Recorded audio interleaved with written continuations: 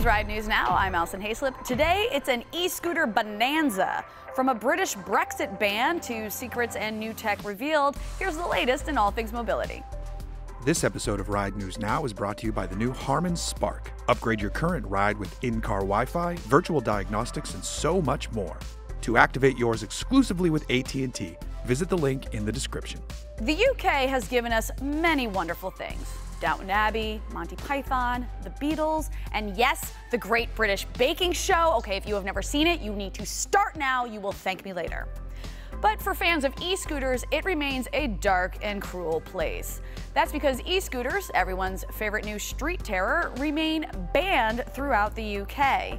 And with British Parliament a little bit busy with this whole Brexit thing, chances are looking slim that this will change anytime soon. E-scooters are as popular as Lizzo, and now some cities are cracking down on e-scooters, not Lizzo. She is a queen, and she don't need a crown to know it. In Paris, for example, they've lowered scooter speed limits and toughened regulations in an attempt to curb e-scooter accidents. Curbed? yeah, you got it. Well, maybe fewer accidents will stop people from tossing them into the River Seine. Euh oui, they do.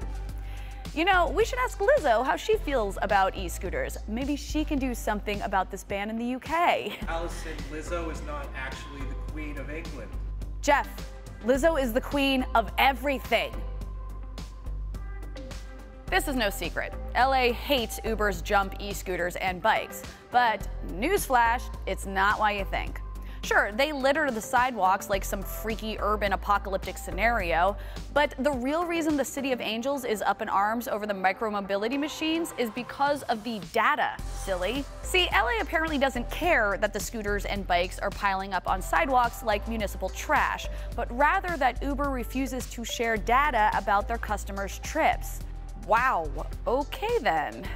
When you rent one of Uber's janky Jump rides, they know exactly where you eat, entertain yourself, and even where you choose to worship the Church of Lizzo.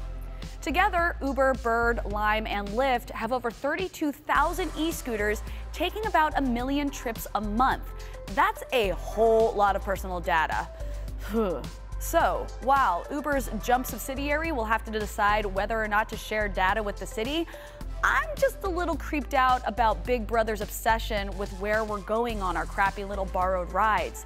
Hey, Uber, you should know by now that secrets don't make friends. Unless they're really juicy and top-notch stuff like our next story. Volkswagen is still trying to get out from the billowing black cloud of Dieselgate. Their latest effort focuses on electric mobility by exploring micromobility. VW Spanish auto division SEAT is launching an electric scooter to take on the likes of Bird, Jump, Lyft, Lime, Kick, Skip, Scoop. Shall I go on? No? Good.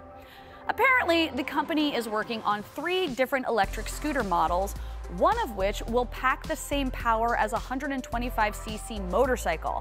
I'm not sure exactly how powerful that is, but if we're talking about a scooter like this instead of this, well, they must have different sensibilities in Spain because that just seems a little irresponsible.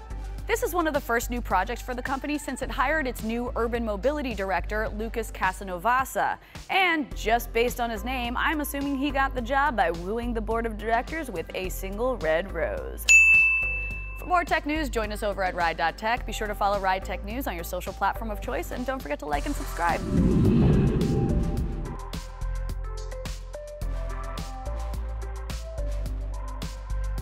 Sure, they littered a site. They litter. They litter. Dude, Cyber Monday. I already bought stuff this morning.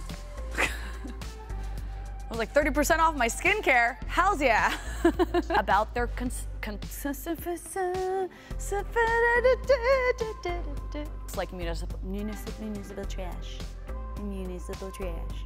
This episode of Ride News Now is brought to you by the new Harman Spark. Upgrade your current ride with in-car Wi-Fi, virtual diagnostics, and so much more. To activate yours exclusively with AT&T, visit the link in the description. Thanks for watching. If you like what you see, please like and subscribe. Also, head to ride.tech for stories, reviews, and more news.